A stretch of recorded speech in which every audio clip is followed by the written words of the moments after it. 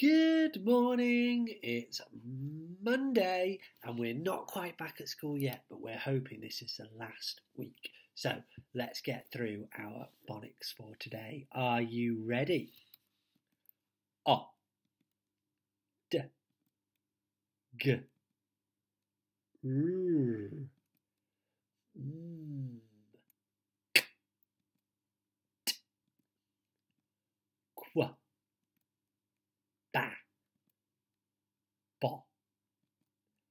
bi, a, i, er. Now let's try those high frequency words, those words we just need to be able to read as quickly as we can. Ready?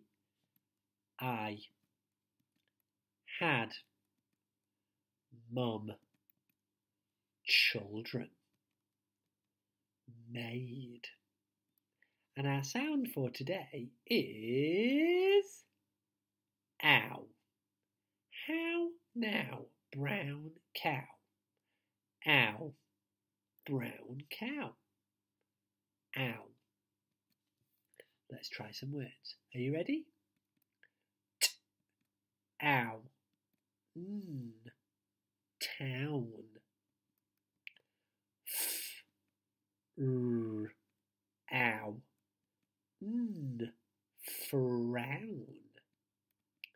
K, r, ow. N, crown. B, r, ow. Brow. M, a, r, ow. N, maroon. So, our sound today is ow. Ow, ow, ow. Now, oh, now. Ow. Oh, my whiteboard has dried up. In the two weeks that we have not been writing, my whiteboard pen has stopped working. Do I have another? Oh, oh I've got so many pens here. And I can't see it.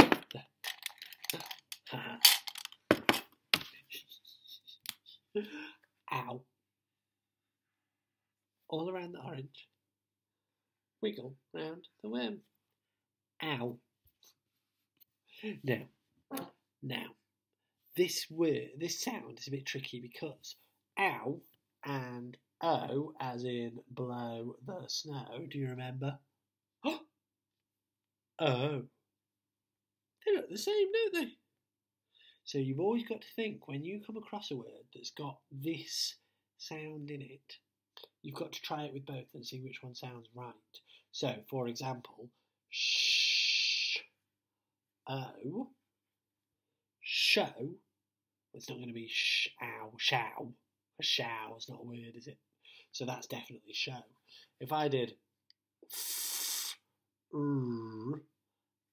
ow, n, frown. If I said f, r, o, n, frown, frown, that's not a word, is it? It's a frown. So, ow. And today we're focusing on the brown cow ow. So I'm going to say, I took my cow to town, or Jack took his cow to town from Jack and the Beanstalk. Jack, Jack took, took his, is cow, cow. Jack took his cow to town. Ow. Mm. Jack took his cow to town. I wonder what our words you'll use in your sentence today.